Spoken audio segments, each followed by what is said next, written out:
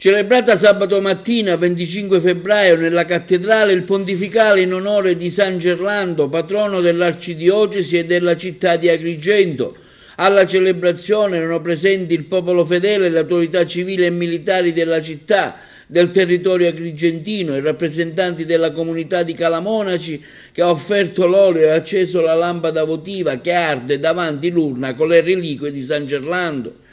A presiedere la Santa Messa è stato Monsignor Francesco Lomanto, arcivescovo di Siracusa. Hanno concelebrato i presbiteri dell'arcidiocesi Monsignor Salvatore Muratore, vescovo emerito di Nicosia, e l'arcivescovo di Agrigento Monsignor Alessandro Damiano, che all'inizio della celebrazione eucaristica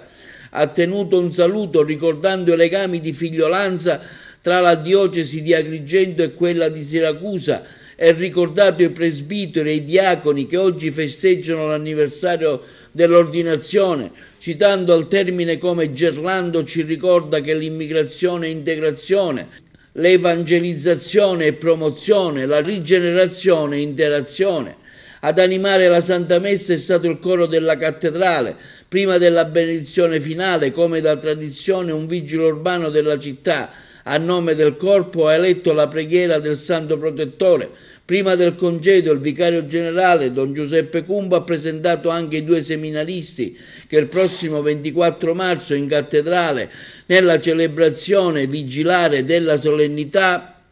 dell'Annunciazione del Signore saranno ordinati diaconi, Salvatore Ingoglia della comunità ecclesiale di Castelvetrano e Giuseppe Vecchio della comunità di Palma di Montechiaro. Inoltre sono stati presentati alla Chiesa Grigentini Donna Ludep Kumar e Donna Arbos Kumar Rombicherla, due presbiteri fidei donum che presteranno per un periodo di tre anni il loro ministero nella nostra arcidiocesi.